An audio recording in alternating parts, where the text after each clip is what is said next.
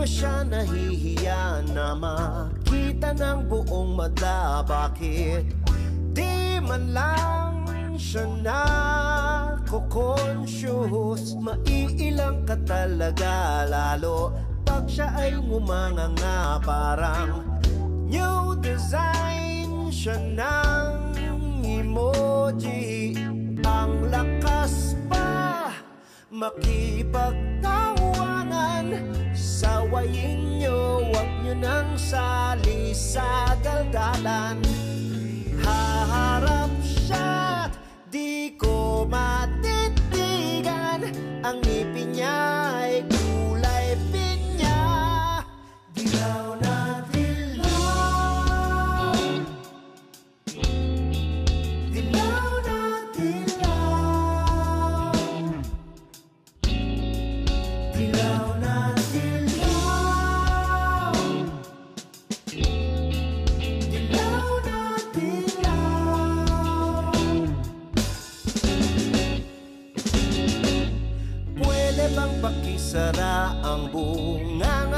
nakabuka para kang kumain ng Crayola.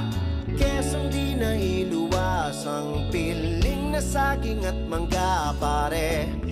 Di ko kakayanin to.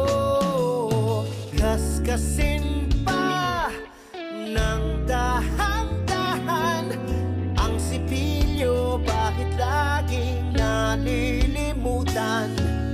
mouthwash more.